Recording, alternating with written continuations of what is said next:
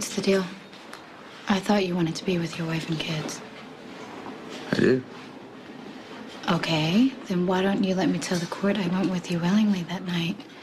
When the DA, uh, they're gonna have to drop the charges. I held you hostage. You're willing to face aiding and abetting charges for me.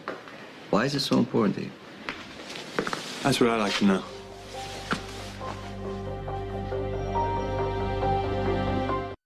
We were stuck in a ditch during a storm, and Sonny told me all about his wife. Doesn't mean you need to perjure yourself. I could see that Sonny loved her, and I assume that she loves him back. And hopefully, you realize that Carly didn't betray you now because I know how much that can hurt. Are you talking to me or is this for his benefit? So leave Jax out of this, please. And what do you say? Do you want me to testify or not?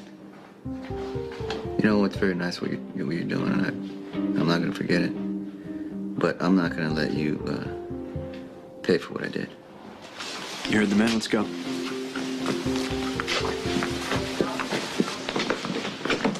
Jax, I know you don't like the guy. Listen to. You, I'm not going to stand by and watch Sonny destroy another woman that I care about.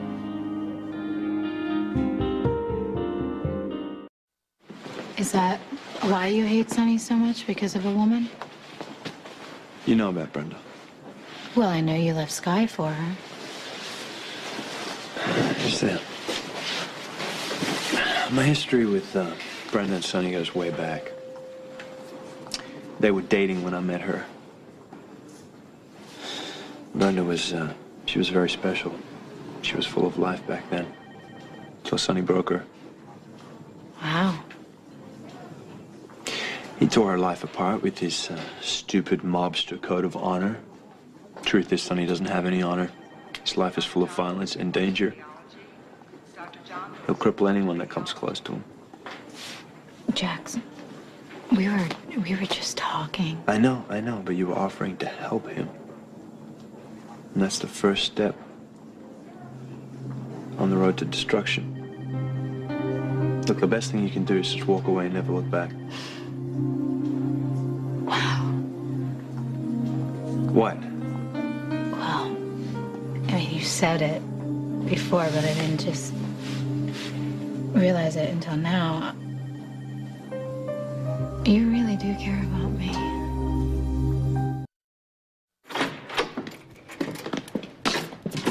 I didn't really realize there was so much history between you and Sonny. You know, Sonny and I haven't exactly made fun of each other over the years. Well, I can see why you guys have problems. That guy is pretty intense, you know. It's one way to describe him. He's a, uh, a violent, destructive man. So, are are you going to tell me what you wanted from Sonny? Okay. I admit that um I did approach him on the pier to get back at you. And then he used me to get away from the cops, but I just um I felt like he was desperate and, and outnumbered and I guess I could relate to him. And I think I just have been fixated on the dead man's hand for so long that maybe I just. I don't know, maybe I just needed something new to pass the time. The Haunted Stars, obviously not going to be the salvage boat of my dreams because Luke has basically taken possession of it. Uh, Luke can't take anything from you if you don't want him to. It's just the thing, Jax. I don't know what I want. I really never thought about what I'd do once those cards were history. Just Look for a fresh start. be easy, but I don't have a clue what to do with my life. I do. Let it begin with me.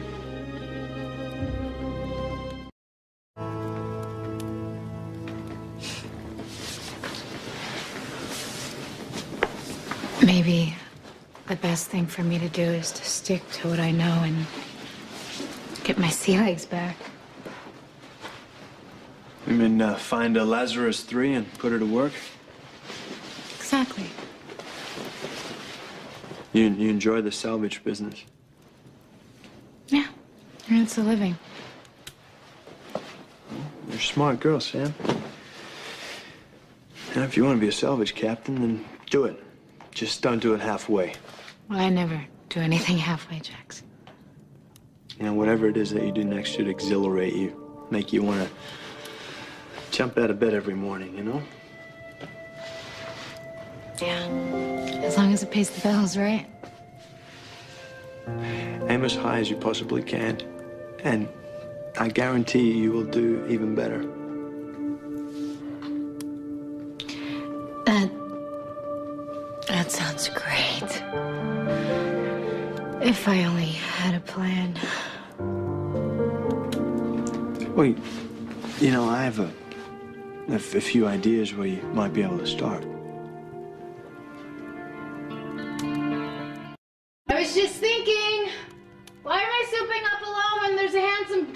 Other room that I could be in the shower?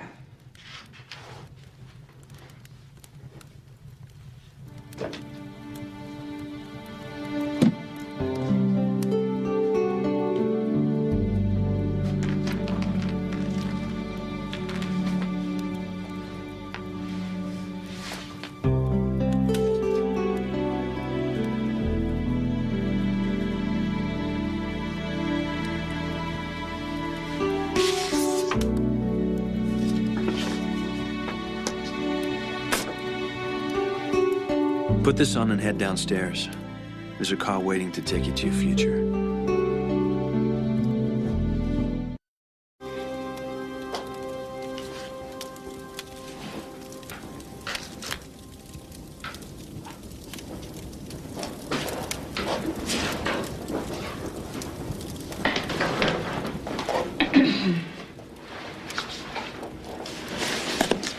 Wow. The look suits you. Maybe for conning some oil exec. Are we role playing today? I'm the secretary and you're some big business tycoon who needs a break. No, no, this is uh, this is not a game. Wow. Creative. Props. That, that that's a good one. No, no, this is not a prop. This is a job offer, which I'm hoping you will take. Wait a second. I, I tell you that I'm looking for a fresh start. You say it begins with you. Suddenly I'm your vice president. what kind of joke is this? I think I've told you that before. I never joke where money is involved. What the heck do I know about running a company? You're a smart woman, Sam. You're intelligent. You're savvy. It's more than enough you need to start. I'm not even sure what you do for a living. Well, mostly I bluff. You're very good at that. It's what you need in the business world. See, we make promises that we don't intend to keep, and uh, we try to come out on top no matter what. Okay, what kind of stakes are we talking? Uh, usually, the deals that are made here are hundreds of millions of dollars. You're talking more than a hundred million dollars? yeah, it kind of gets your blood pumping, doesn't it? Uh-huh, I, I admit I enjoy running a good bluff. Yeah, by the time you close one deal, you're already thinking about the next one, so you don't really get to enjoy the rush. Wow.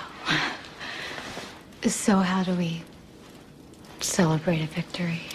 Well, usually we um, purchase obnoxious amounts of large toys. But in your case, I had something more personal in mind. Uh-huh.